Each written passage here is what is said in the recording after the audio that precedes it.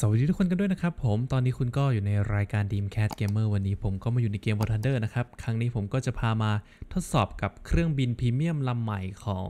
อเมริกานะครับ นั่นคือ A6E TRAM Intruder นะครับ เครื่องบินลำนี้ก็เป็นเครื่องบินที่จะมาในอัปเดตใหม่นั่นเองนะครับผมแต่ตอนนี้ยังอยู่ในเซิร์ฟ test นะครับก็ย้ำกันอีกรอบหนึ่งนะครับว่าในอนาคตอาจจะมีการเปลี่ยนแปลงก็เป็นได้นะครับผม ทีนี้เดี๋ยวเรามาไล่ดูสเปคของ Intruder ใน Surf Test กันก่อนเลยนะครับ ว่ามันมีอะไรที่น่าสนใจกันบ้างนะครับ เครื่องบินลำนี้ก็จะเป็นเครื่องบินพรีเมียมแรงแรงเจ็ดนะครับโดยจะมี Battle Rating อยู่ที่ 10.0 นะครับผม มี Counter Measure นะครับ หรือว่าเป้าลวง 60 ลูกนะครับ มีนักบินด้วยกันทั้งหมด 2 นายนะครับอ่ามี Max Speed ความเร็วสูงสุดอยู่ที่ 644 กิโลเมตรต่อชั่วโมงนะครับผม มีเพดานบินสูงสุดอยู่ที่ 12,497 เมตรนะครับ turn time หรือว่าเวลาในการเลี้ยวจะอยู่ที่ 29.0 วินะครับ อัตราการไต่ระดับจะอยู่ที่ 25.5 เมตรต่อวินะครับ ระยะ take off 700 เมตรครับผม มาดูเอ็กซเรย์ของตัวเครื่องบินกันบ้างนะครับ ก็ทำค่อนข้างเเสร็จแล้วนะ เท่าที่ดูนะครับ ในเอ็กซเรย์ก็โอเคแล้วนะครับผม เครื่องยนต์นะครับก็มี 2 เครื่องยนต์นะครับ จะเป็นเครื่องยนต์ Pat and Whitney J 52ขีด P ขีด8 AS นะครับผม เป็นเครื่องเจ็ต มีแรงผลักอยู่ที่ 3,800 กิโลกรัมฟอร์สนะครับ ไม่มี after burner นะครับเขาเขาไม่สามารถเร่ง after burner ได้นะครับผม เรดาร์นะครับก็จะเป็นเรดาร์ AN ทับ APQ ขีด156 นะครับ ก็จะมีแค่ BVR โหมดแล้วก็ ACM โหมดนะครับผมระยะอยู่ที่ 30 กิโลนะครับ ต่อมานะครับก็ปืนนะครับก็จะมี CCIP นะครับrocket ก็จะมี CCIP ระเบิดก็จะมี CCIP แล้วก็ CCRP นะครับ มีกล้องด้วยนะครับผมก็จะเป็น pod ตรงนี้นะฮะตอนซูมนะครับก็จะอยู่ที่ 2.6 นะครับ แล้วก็ซูมเข้านะครับจะอยู่ที่ 1.0 นะครับเรดาร์ก็ตามที่บอกไปนะครับ เป็น AN ทับ APQ ขีด156 นะครับ IRTS เป็น Auto Track นะครับผม แล้วก็ RWR ก็จะเป็น AN ทับ ALR ขีด 45V นะครับ มี SPI แล้วก็ LDR นะครับผม เครื่องบินลำนี้ไม่มีปืนนะเนี่ย ไม่มีปืนเลยสักกระบอกนะครับ แต่มันจะมี pod มาใส่เสริมนะครับผมเป็น pod ปืน โอเคทั้งนั้นเดี๋ยวเรามาดู loadout ของ Intruder กันหน่อยนะครับ Air to Air นะครับก็จะมี AM9G นะครับแล้วก็ AM9L นั่นเองนะครับผมเป็นตัวรุ่นท็อปเลยนะครับอันนี้หน้าตาตอนติด Air to Air 4 ลูกนะครับผมต่อมาระเบิดนะครับ 500 ปอนด์นะครับ 28 ลูก เยอะมากเลยนะ เครื่องเล็ก ๆ อย่างนี้แต่บรรทุกไปได้ค่อนข้างเยอะเลยนะครับ1,000ปอนด์13ลูกนะครับผม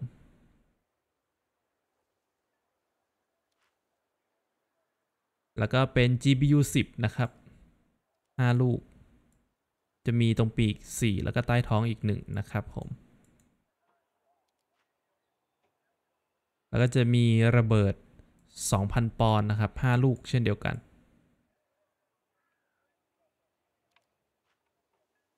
แล้วก็ระเบิด 250 ปอนด์ 28 ลูกนะครับ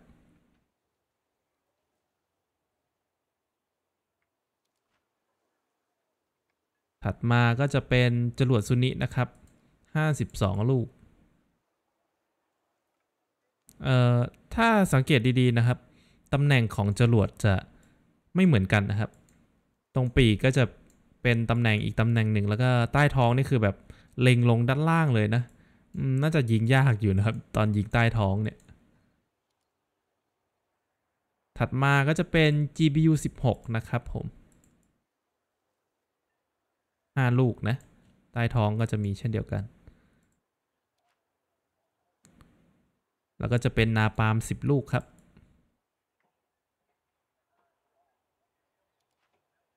บรรทุกไปได้เยอะมาก Mighty Mouse 190ลูกนะครับผม อ้าวไม่มี รอบนี้ไม่มีใต้ท้องแล้วเหรอ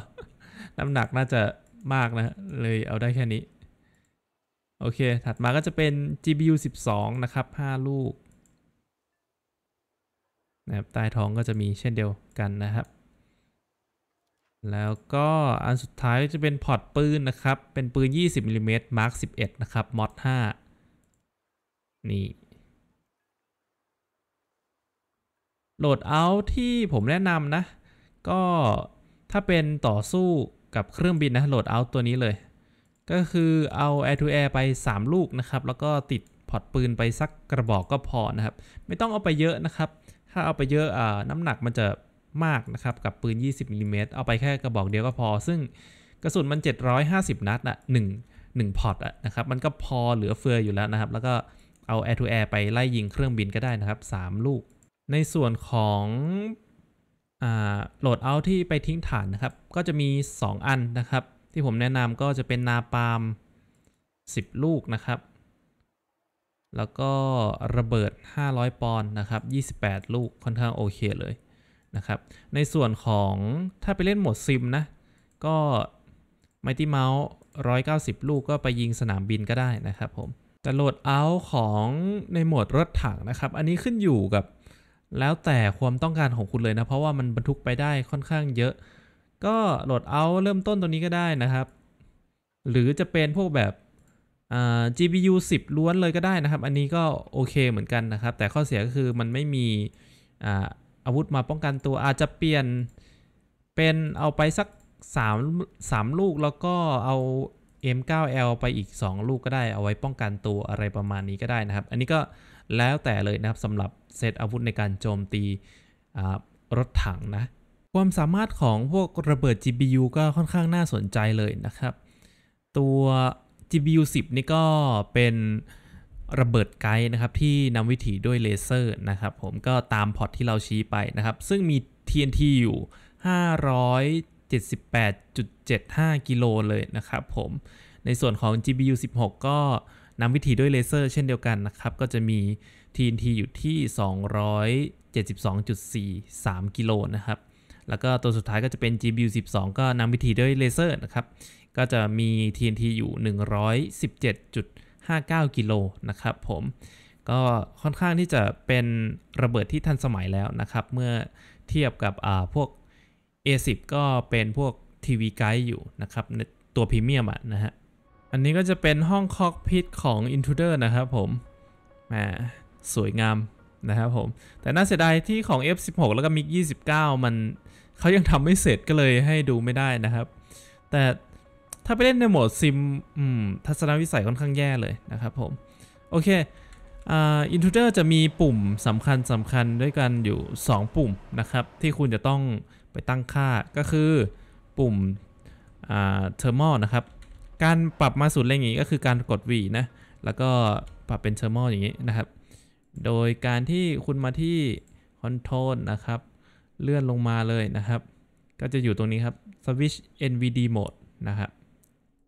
ปุ่มนี้เลย แล้วก็พอคุณตั้งค่าเสร็จแล้วมันก็จะมีปุ่ม track นะฮะ ปุ่มไว้ใช้ล็อกเป้าหมายนะครับผม ก็มาเหมือนเดิมนะครับ Control แล้วก็เลื่อนลงมา จะอยู่ตรงนี้นะครับผม โอเคครับ เดี๋ยวเราจะไปเทสกันในการเล่นกันนะครับผมในเกมเพย์แล้วผมจะให้โชว์ให้ดูแบบหลายๆเกมเพย์นะครับ ก็จะมีทั้งเกมเพย์ไว้ต่อสู้เครื่องบินไว้ทิ้งระเบิด แล้วก็เล่นในโหมดรถถังนะครับ ให้ดูหลากหลายนะครับผมว่า มันทำอะไรยังไงได้บ้างนะครับกับ A6E Intruder ลำนี้นะครับผม Hunter โอเค มิกซอยไปละ J35 แล้วก็ J32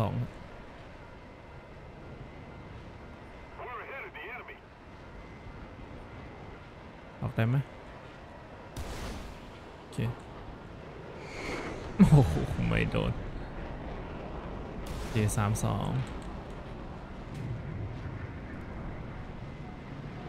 เดี๋ยว air to air อยู่หนึ่งลูกครับ โอเค โดนละเข้า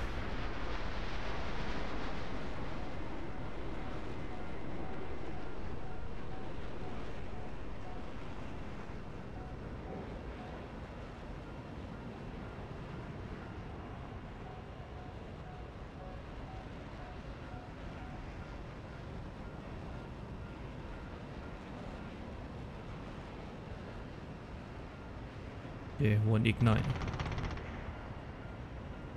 อะ มุมนี้ได้ละ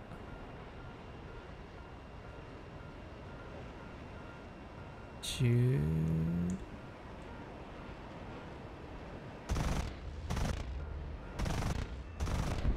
โดนปีกครับ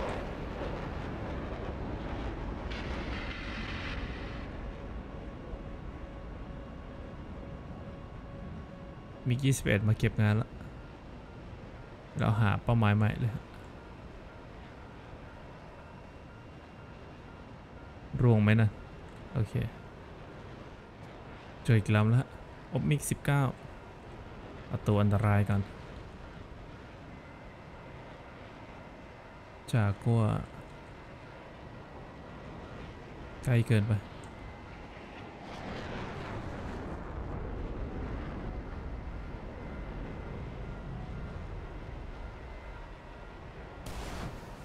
โอเค จากกลัวสามลำแล้วอะเรียบร้อยโดนไปฮิตมิกยี่สามฮันเตอร์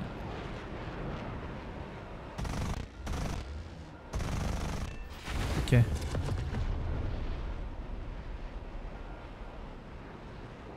Hunter F hit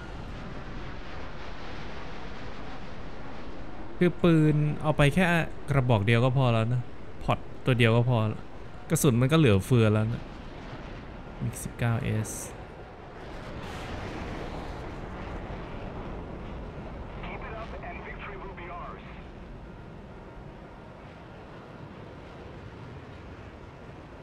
หาความเร็วมาหน่อย ระวังด้านหลังอะ โอเค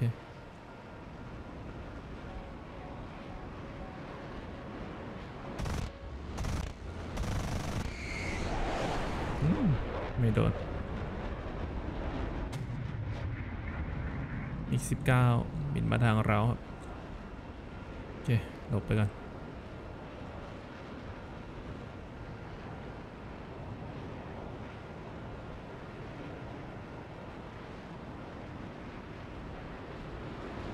เหลือกระสุนสามร้อยนัด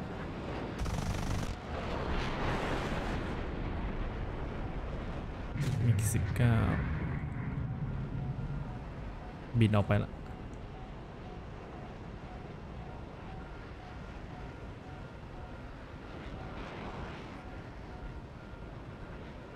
จากกัว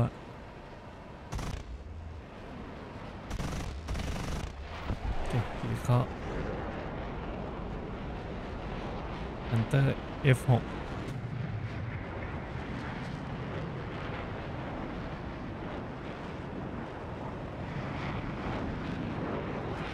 เร็วมาหน่อยโอ้ยเพื่อนเราเกือบโดนจะฮิต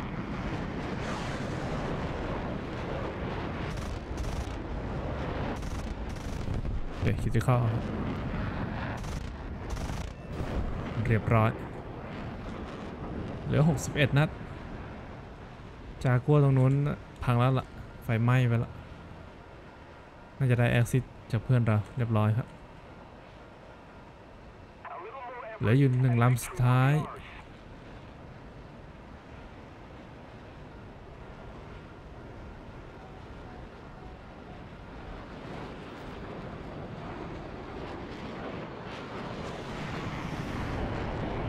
แบบ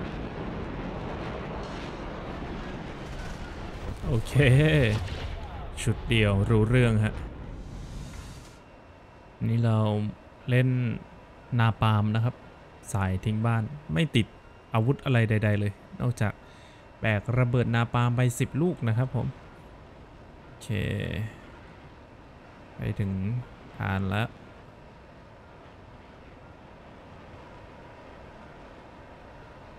หนึ่งสองสามสี่เอาไปสี่ลูกก่อน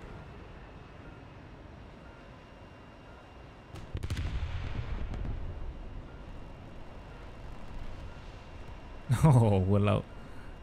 เมติเมาส์ศาสตร์ฐานเนาปามกำลังเผานะ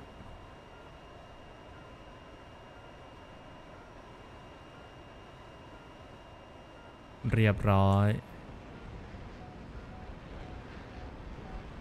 แล้วก็ไปทิ้งอีกหนึ่งฐานครับ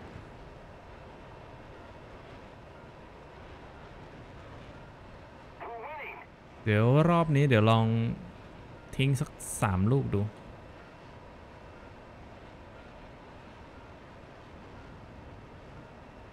โอ้โห เจอเครื่องบิน ไม่มีอาวุธเลยเรีบไปรีบไปรีบไป นั่นแหละ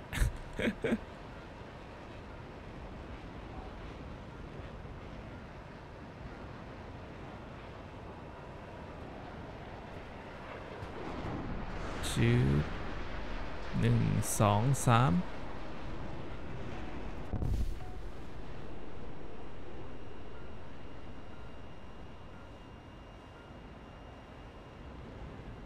เดี๋ยวรอดูครับว่านาปามมันจะเผาไปถึงไหน เลือดฐานค่อยๆลดไปเรื่อยๆนะโอ้โห อันนี้ดงตรีนอ่อเลือดยังไหลลดลงไปเรื่อยๆนะ บินออกมาก่อน อ๋อ ได้แค่นี้ โอเค ต้องใช้สี่ลูกย่อนไปหนึ่งลูกปุ๊บ แล้วก็จะเหลือเศษอยู่สองลูกพอดี ก็ทิ้งได้สองฐานกับอีกนิดนึงครับ ที่สองหมงโลก สองโอ เค แล้วก็บินกลับฐานครับ อันนี้ก็จะเป็นสายพังฐานเลยนะครับผม ก็คือแบกนาปาล์มไปแล้วก็บินไปทิ้งฐานโดยเฉพาะ ไม่เน้นสังหารนะครับ ก็จะได้เลือดฐานเกินครึ่งเลยนะก็คือได้ 2 ฐานกับอีก เกือบพังนะครับ ไปหย่อนอีก 2 ลูกก็ได้แล้ว ก็ค่อนข้างโอเคเลยนะครับ ถ้าใครเล่นเป็นแบบไม่เน้นคิว เน้นพังฐานเก็บสกอร์อะไรแบบนี้ก็ได้ 1,000 แต้ม ต่อรอบก็โอเคนะครับ แต่ปัญหาก็คือเครื่องเครื่องเขาช้านี่แหละ ถ้ามันไปเจอแบบพวกซูเจ็ดอะไรพวกเนี้ยนะฮะ ไม่รู้จะไปทิ้งทันเขาไหมเนี่ยพวกแบบ F4C อะไรเงี้ยที่ติดระเบิดไปทิ้งแข่งกับเรา นี่ก็ต้องลองชั่งน้ำหนักดูนะครับผม มาทดสอบทิ้งระเบิดกันดูบ้างนะครับ 500 ปอนด์28 ลูกนะครับผม โอเค 1 2 3 4 5 6 7 8 9 10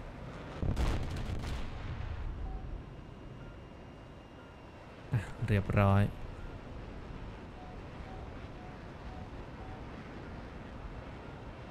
โอเค ไม่มีเครื่องบินมาครับหนึ่งสองสามสี่ห้าหกเจ็ดแปดเก้าสิบอะ เหลือแปดลูก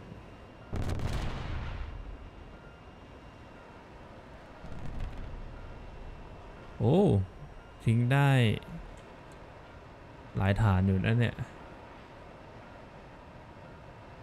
คะแนนปลาไป 2,004แล้ว เอ้ย ไม่ใช่2,004 1,004 นะครับ เดี๋ยวมาดูชุดสุดท้ายนะครับ กับ 8 ลูกว่าจะได้คะแนนเท่าไหร่ต่อเที่ยวชุบชุบทิ้งให้หมด โอเค โอ้ เกือบพังนะครับ พอๆกับนาปาล์ม คะแนนพันเจ็ดนะครับ โอเคเลยนะ ต่อเที่ยวพันเจ็ดก็ทิ้งไป 3.41 ตันนะครับผม เกือบ 4 ตันได้ ต่อรอบก็โอเคเลยนะฮะคะแนนก็ได้ค่อนข้างเยอะ จุด A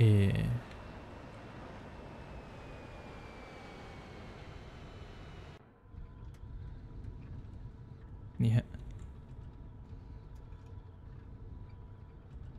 Enemy forces have captured a zone. โอเคล็อก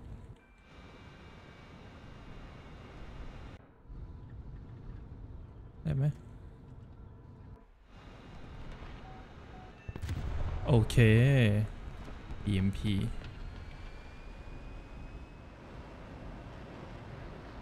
โอเค ได้ exit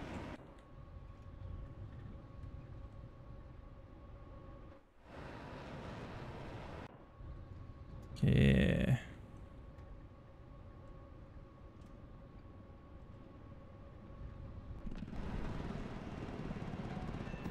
เรียบร้อยได้ยินเสียงเครื่องบินนั่นไง ไม่ติดปืนซะด้วย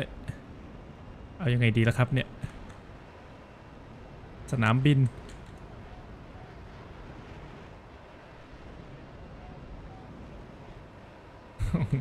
แล้ว เครื่องก็บินช้าด้วยนะ มิกสิบห้าโอ้โหอืมปีก ปีกหักค่อนข้างง่ายเลย คือเมื่อกี้ผมหมุนแล้วก็กดหัวลง ปีกหลุดแล้วนะโอเคค้นหาเป้าหมายก่อนนะครับผ่อนเครื่องยนต์แอร์เบรก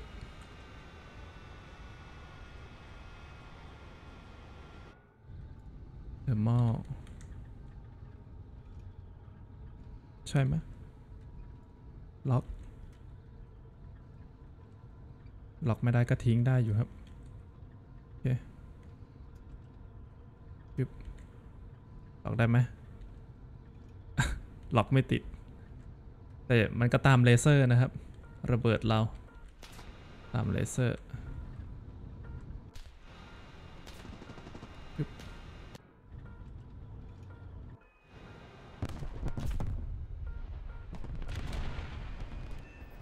โอเคสองคิว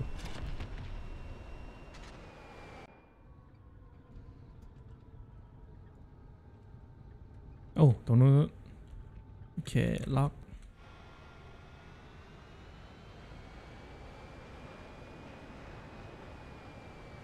ทิ้งไปครับแอร์เบรก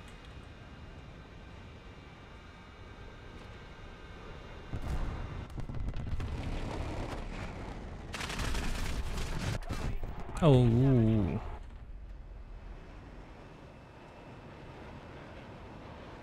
โอเคครับผมก็จบไปแล้วนะครับ ก็ตอนแรกก็ไม่อยากจะเปรียบเทียบซะเท่าไหร่นะ แต่ก็ในเมื่อมันเป็นเครื่องบินโจมตีก็อ่ามันก็น่าเปรียบเทียบกับตัวเครื่องบิน A10 อยู่นะครับ ในเลทเดียวกันด้วยนะ 10.0 นะครับผมอ่าถามว่ามันเด่นมากกว่ายังไงก็ เครื่องของเขาเป็นเครื่องที่ค่อนข้างเล็กนะครับ แล้วก็มีความเร็วที่ดีกว่านิดนึง แต่ไม่ถึงกับแบบดีมากมายอะไรขนาดนั้นนะนะครับผม เนื่องจากเครื่องบินของเขาเป็นเครื่องบินโจมตีแต่ไม่มีปืน แต่อาวุธอาวุธของเขาเนี่ยดีกว่านะครับ พวกอาวุธนำวิถีอะไรเงี้ยดีกว่า A10 ตัวพรีเมียมอยู่แล้วนะครับผม แต่ A10 จะมีความถึกนะครับ คือเห็นได้ชัดเลยนะครับ Intruder นี่คือแบบ เปราะมากเท่าที่ไปเล่นในโหมดรถถังมา เครื่องยนต์พังง่ายนะครับ เนื่องจากเครื่องยนต์เขาอยู่ด้านหลังถึงแม้ว่าจะมีเกราะเข้ามาเสริมก็ตามแต่นะ 6มิลเนี่ยแต่มันจะมีเครื่องยนต์ด้านท้ายไอ้ไม่ใช่ด้านท้ายดด้านล่างตรงเนี้ยนะครับผมพังได้ค่อนข้างง่ายนะครับ การเล่นก็คือใช้ GPU โจมตีจากนอกระยะนะครับจะค่อนข้างโอเค แต่ปัญหาก็คือกว่าเขาจะไต่ ระดับขึ้นไปได้เนี่ยมันมันบินช้าอยู่พอสมควรนะครับผมแต่ A10 นี่มันบินต่ำแล้วก็สาดสาดปืน 30 ก็ชิวๆนะครับผมแต่ Intruder มันทำอย่างนั้นค่อนข้างลำบากนะครับ อาจจะต้องโจมตีจากระยะไกลเอานะครับผม แต่ความสามารถในการต่อสู้เครื่องบินเนี่ย ผมว่า Intruder ดีกว่านะครับ เครื่องบินของเขามัน Air to Air มันเอาไปได้ 3 ลูกนะครับผม หรือจะ ติดไป 4 ลูกเลยก็ได้ แต่ของ A10 เอาไปได้สองลูกนะครับ แต่เขามี